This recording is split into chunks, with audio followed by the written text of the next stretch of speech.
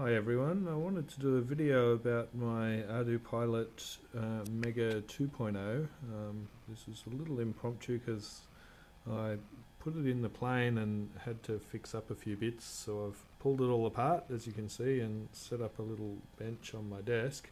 Um, and I thought I'd better do a quick video before I put it all back together so I don't have a tripod or anything at the moment uh, long story, well it's in the car. Um, so here's a quick video so here it is my little uh, this was 200 bucks from DIYdrones.com and I must say it's pretty awesome. Um, there's the back even though that's upside down. Uh, there you go excuse my shaky hands. Um, and I didn't get the compass uh, sorry the GPS version. Uh, in the full version there's a little GPS that goes on the top here. Um, now that is here because I paid a little extra and got the external GPS um, I think that was a good idea because this GPS is a little sensitive to other electronics, especially the camera and the video equipment seem to really mess it up. So um, it's good to be able to put the GPS. Well, I'm going to move it even from there. Uh, it gets a lock that far away from the camera, but it takes a little while and loses it. So I'm going to put it out on a wing or something. We'll see how that goes. Um, but anyway, here it is. Um, so I thought I'll just give you a quick demo of it. Um, you plug the USB in here, excuse me while I do this with two hands.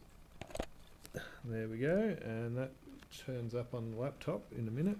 You can watch all the little lights flash and stuff. I remember getting my shadow in here, sorry guys. Bit of a dodgy video, but there you go. Um, so the lights flash, and it's all good. And then you can hit connect on the screen hope you can see the laptop screen. I can only see the mouse. I'm having to work the laptop by looking in the back of the camera. Uh, connect. And that tries to connect and loads all of these parameters. Here we go. Um, which is basically just loading all your plane settings and things. Uh, that takes a minute. Uh, and then this goes to disarmed um, and then in a sec it'll go to armed. How exciting. Um, anyway while it does that I should have actually put this back in its case. You do get a plastic case now uh, which is very good. I put some velcro on the bottom of mine to put it in the plane. Um, and then that's all sits there and you can see how that goes over all of your pins um, so I might actually do that in a sec. I'm going to try not to pause the video. This is just going to go straight on YouTube unedited. But I'll hold it by the USB thing, and you can see there now that that's actually supposed to go the opposite way because that's the horizon tilted. If you can imagine the plane turning, um, and it goes up and down. So you've got all your tilts. And you've got a compass, so even without GPS, you can see the compass moving around um, only just because the GPS isn't plugged in. Um, the compass you have to calibrate. That was actually my one thing I did a whole test flight and everything with a dodgy compass. So let me just show you the calibration quickly. I won't do it, but I'll show it to you. You go to configuration, which lets you set up all your radio and all your parameters and stuff. And you go to hardware options, and you've got your compass there, enable compass. Uh, you've got to do your declination, but it says that in the manual. But just hit live calibration, um, and it gives you a little prompt of what to do. And anyway, with it in live calibration, you then pick the the APM two up, and you have to twist it around all its axes, like give it a full twist on all its different axes, um, and that calibrates the compass. Anyway, my compass was way off and, and spinning, like with it just sitting still, the compass would spin around in circles and stuff um, until I calibrated it, and now it's wonderful. So do the live calibration. Um, anyway, getting to the point again, I've also got an airspeed sensor, which was extra, um, but if you can see airspeed enabled. Uh, that's in the plane, but that's here. You get your little bit sticking out the nose, um, and then that goes through these two little tubes. Well, you get one tube and cut it in half to the little airspeed sensor there, which then goes via some wires, excuse all the mess in there, um, to the APM2. Now that came already configured for me. I just I bought the airspeed sensor off DIY drones as well. And I just plugged it in, flew the plane. I mean, you know, I didn't have a radar gun to test it or anything, but the airspeed sent quite accurate just straight off the bat, so that was handy. Um, going by the GPS, actually, it was pretty accurate. Um, so that was good. It was a bit of a windy day. Um, also, okay, well, I guess the next bit, um, I'm just going to unplug this. Actually, I don't even think I need to unplug it. I'm just going to put it in its case because I feel dodgy about holding it around. Um, so that just goes there. Oops. And then that. I think I need it that way. Goes there. Um, now if you can, if I put that here. There we go. You can even see me screwing it up with the camera sitting there. Just quickly, I'll just put two screws in.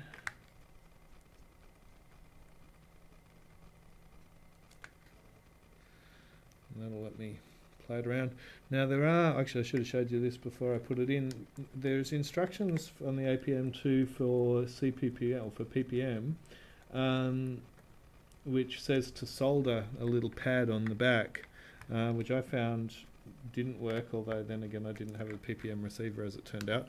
Um, but on the forums, the old, the APM1 method, uh, which seems to work for this, is to get a little bind or sort of little um, servo end or servo end. I don't know what they're called now. Um, and anyway, connect the servo signal. That's ground's always on the outside on all three. Ground, ground, ground on the outside. Positive, obviously, in the middle, and signal's always on the inside. Um, so connect the signal pins two and three on the input. These are the input pins. Let's do that, and then you get your CPPM receiver, which oh, that's why I've just bought another new receiver. I've got so many receivers now. The V8 R7 SP by FrSky comes with CPPM by default. You don't need to do any mods or anything. So actually, I only just bought that tonight, or it just arrived. Um, plug that into pin one, and turn on our remote. The R9X, gotta love the R9X. Um, and then that should be it. Now, I haven't actually tested just doing that with it on, but let's just try it. We'll go back to radio calibration. Oops, radio calibration. And now if I move the ailerons, no, that doesn't work. Okay, uh, maybe we need to actually unplug that. Oh, I see. Of course, it's disconnected. There's a bit of a power thing um, that the uh, when you plug your receiver in, it kills the power just for a brief instant. And the APM, I think the USB can't provide quite enough power, but I think a little capacitor or something might not hurt for that. Um, but anyway, that should be reconnecting. No. Here we go. link connecting. There we go. Um, while that's connecting, also I've connected like that's got all eight channels coming out of the battery port uh, on the um, receiver, and I've also plugged my camera straight into channels six and seven. Um, that's just the way I want to do it. Um, um, I'll get to that later. Anyway, so there's the camera working straight off the receiver, just to look left and right. Um, and then you can also see the channel 6 no you can't. You should be able to see but channel oh except I've plugged the bloody oh no that's right.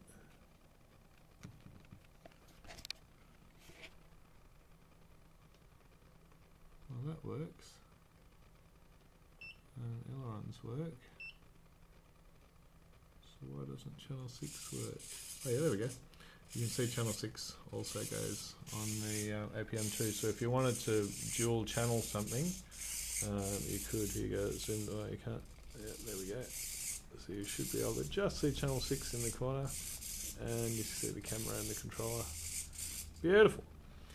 Um, I don't know what else I can tell you really. Um, just quickly I guess raving on still. It's a long video now um, if you go to firmware, you're going to need to do this, but all this is in the instructions. It gives you all of your different um, things that it can fly.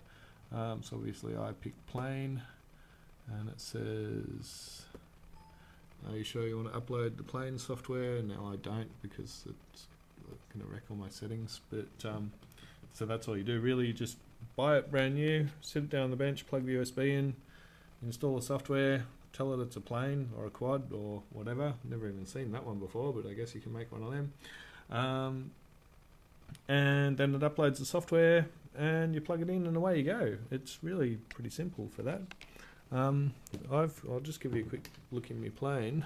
Um, I've got my video all the way down the back there. Got my ESC, which I'm going to shorten that cable. I've spent another on the to-do list for a while is make the ESC to the motor cable a bit shorter. Uh, OSD's in the back there. That's got to come forwards because I can never reprogram it without pulling the plane apart. Uh, APM goes on this little dot there. Batteries go here. Um, got the speed controller there. Got the second BEC.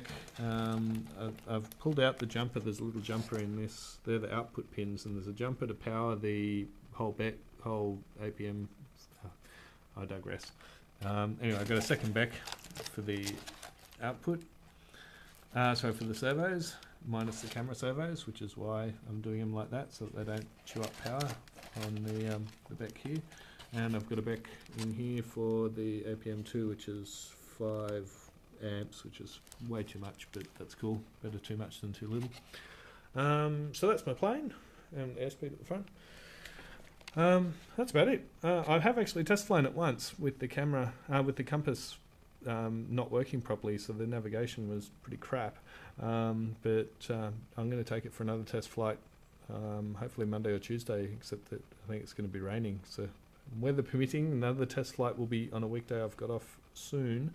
Um, and I'll post that video as well so you can see how well all the controls work and stuff because it does work really well and that was I tested it you can see they're now up to 2.5 on the software this was with 2.4 um, and they've said that's one of the major improvements between 2.4 to 2.5 is 2.5 is much more stable in flight. Now I thought 2.4 was pretty stable in flight, I must say. Um, so 2.5 should be awesome. Um, yeah, got any questions? Let me know. I guess that's the best one, and I'll include them in my next video because this one's really long now, and I'll also edit the next one too, so you won't have to listen to me rave on for a whole bunch of time. Um, so yes, subscribe if you haven't, although you probably have. Um, and let me know what you want to see in the next video when I have this in the plane and we'll go flying and show you how well it all works. Okay, thanks for watching. See ya.